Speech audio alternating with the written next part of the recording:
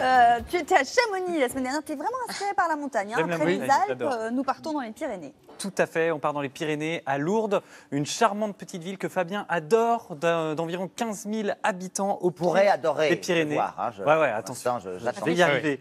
Euh, niché au pied des Pyrénées, au cœur de l'Occitanie, donc Lourdes, une ville à découvrir. Alors évidemment, quand on parle de Lourdes, on pense tout de suite à la religion, au sanctuaire, etc.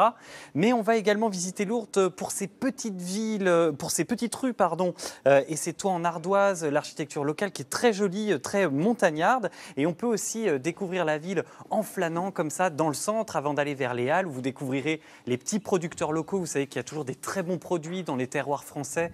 Donc ça, c'est un endroit, ces Halles, vraiment pour les découvrir. Des Halles qui datent du 19e siècle, un bâtiment typique, vraiment, euh, allez, allez le voir. Et puis, évidemment, évidemment, eh bien, euh, on va à Lourdes pour découvrir cette culture religieuse et le fameux sanctuaire, hein, l'un des plus visités au monde. Alors, moi, je dirais que aller à Lourdes, c'est un peu, vous savez, comme quand on va à Rome et qu'on fait un tour par le Vatican.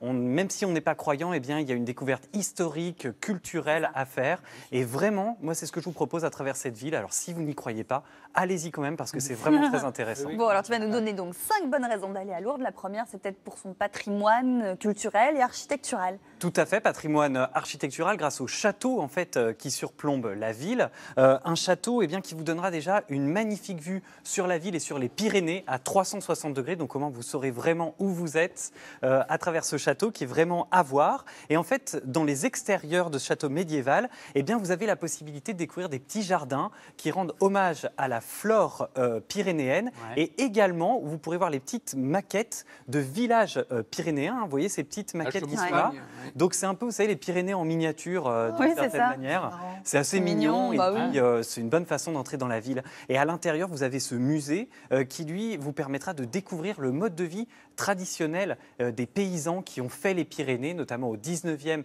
et au 20e siècle, donc les outils qu'ils utilisaient, etc., pour leur vie euh, quotidienne. Mm. Et voilà, donc ce, ce château, vraiment, il a une histoire, hein, il a été construit, il a beaucoup évolué entre le 11e et le 19e siècle, et toute la ville, en fait, s'est construite autour. Ouais. Donc c'est vraiment une façon d'entrer dans l'histoire de la ville. Allez le voir quand vous irez à Lourdes. Alors, une fois qu'on a visité le château, autre bonne raison évidemment euh, d'aller à Lourdes, c'est la visite du célèbre sanctuaire. Ben voilà, alors on ne peut pas passer à côté, hein, euh, lorsqu'on va à Lourdes, on ne peut pas passer à côté de ce sanctuaire avec euh, beaucoup de bâtiments. Vous allez voir euh, sur votre chemin plusieurs sites à visiter. Et d'abord celui-ci, la basilique X. Alors ça, c'est un bâtiment incroyable, une église souterraine qui a été construite en 1958 avec un toit de 191 mètres de long. Donc vous voyez peu, c'est assez démesuré. C'était pour pouvoir, je crois, accueillir un maximum de, de pèlerins à l'époque, non? Parce qu'il y avait vraiment trop, pas assez de place pour les accueillir. C'est ça, et figurez-vous qu'il y a quasiment, il y a plus de 25 000 personnes qui peuvent rentrer à l'intérieur, donc vous Ah oui. imaginez l'ambiance qu'il y a euh, lors des grands rassemblements, des grands pèlerinages, et puis également des bâtiments plus anciens comme euh, la basilique Notre-Dame euh, du Rosaire avec ses mosaïques vénitiennes, et évidemment la grotte de Lourdes, hein, la plus célèbre, qui est la grotte de Massabielle, ou grotte des apparitions.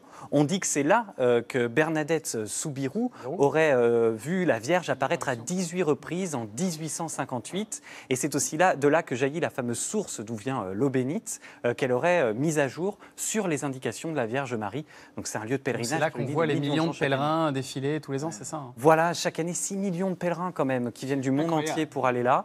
Donc vraiment, c'est au cœur de cette culture et ça vaut le coup rien que pour ça, pour découvrir en fait cet univers. Bon, alors après les nourritures spirituelles, les nourritures terrestres, parce que tu nous connais bien, et dans les bonnes Tout raisons de se rendre à Lourdes, il y a ces spécialités locales à déguster. On m'avait dit que le plus heureux serait Gérard, mais je vois que tout le monde aime beaucoup le moment Ah bah euh, oui, spécial là. Ah, culinaire. oui, oui, oui, Et là, oui. franchement, on est gâté avec. Regardez Ah ouais. ça, c'est des, Le gâteau c'est à la vraiment des créations artistiques, moi je trouve. C'est vrai. Je vous ai ramené euh, du gâteau à la broche. Alors ça, je sais que Mélanie adore. Euh, c'est une spécialité Elle aime locale. tous les gâteaux. Non, Oui, mais celui-là, quand les même. Ouais, particulièrement hein, avec euh, ton histoire dans les Pyrénées. Et en fait, ce qu'on va faire pour ce gâteau, c'est que on répartit la pâte sur une broche et ensuite on va faire tourner cette broche à l'intérieur d'une cheminée dans un feu de bois. Donc c'est un- comme un gâteau euh, au feu de bois. À Et la ça donne, verticale, euh, en fait. Voilà. Voilà. Et ça tourne et c'est rien que la création est spectaculaire, quoi. À la Ouais, plutôt horizontale, à voilà. l'horizontale. Oui. Pardon. Ah, t'appelles ça la Moi, j'ai verticale répondu oui. hein. Non, pas à l'horizontale, à la verticale. Euh, Et donc ce gâteau qui cuit à l'horizontale, euh, le fameux gâteau à l'approche, bah voilà, après il se déguste, ça donne ces- ces- cette espèce de, de Merveilleux, stalactite hein. Magnifique. Mhm. Et puis je vous ai également ramené de la, de la tourte euh, Très bonne. pyrénéenne. Alors ça, bien sûr, c'est un régal. Vous le trouvez sur tous les marchés euh, des Hautes-Pyrénées. Et en fait, euh, tous ces gâteaux viennent euh, de la hum, délicieuse biscuiterie Véder qui se trouve à Montgaillard, donc pas très loin de Lourdes. Euh, voilà, donc c'est vraiment les spécialités locales. C'est un, un moment vraiment euh, très, très délicieux. quoi. Ouais, merci beaucoup Voilà. parce qu'on se régale. Ouais, mangez on- pas tout avant que j'ai fini. Parce que On va repartir Ah. en balade. Une autre bonne raison de poser euh, ses valises euh, à Lourdes, c'est un excellent point de départ pour euh, visiter la région. hein. Bah voilà, ce serait dommage d'aller à Lourdes en fait sans euh, ouvrir la porte des Pyrénées. Et la première chose que je vous propose, bah, c'est de commencer euh, tranquille, on va dire, avec euh, le lac de Lourdes pour profiter de ce cadre exceptionnel. Alors là, évidemment, c'est les sports d'eau qui vous attendent. Vous allez enfiler ces magnifiques combinaisons très saillantes Ah euh, oui. pour nos corps d'athlètes, Mm. euh, pour pouvoir aller profiter du kayak, du paddle, de tous les sports d'eau que vous pouvez faire euh, là-bas, quel que soit le niveau. hein. vraiment, c'est ouvert à tous, c'est pas très compliqué, euh, mais en tout cas, vous pouvez aller faire du sport, sport d'eau, mais également du VTT, de la randonnée euh, sur les bords du lac.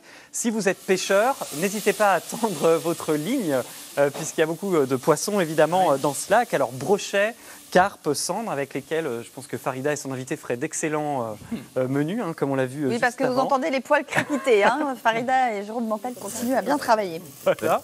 Fais du kayak, toi, Gérard? T'as déjà fait? Pas du tout.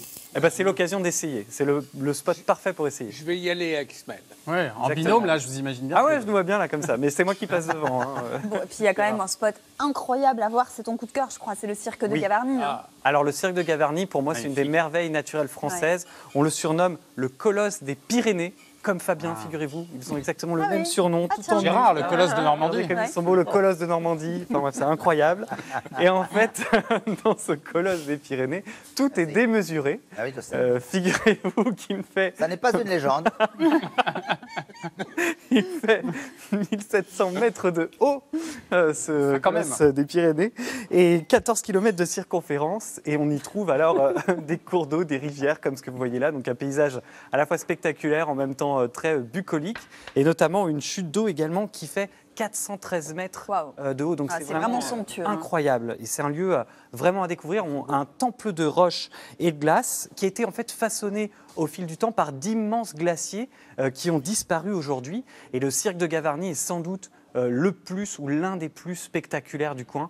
Donc vraiment, allez le visiter. C'est sur la route des chemins de Compostelle pour ceux euh, qui font euh, ce trajet. hein. Les, les randonneurs sont nombreux à le faire. Et je crois qu'il est au patrimoine mondial de l'UNESCO. hein. Exactement, patrimoine mondial de l'UNESCO. Et ce qui est super, c'est que vous allez à Lourdes et ensuite vous faites une heure de route et hop, vous on voilà est. dans le cirque de Gavarnie. Allez, on récapitule donc ces cinq bonnes raisons d'aller passer un petit week-end à Lourdes. Eh bien, on va à Lourdes d'abord pour le château fort qui surplombe la ville. Ensuite, pour découvrir le sanctuaire et l'histoire religieuse qui euh, fait vraiment l'histoire de cette ville.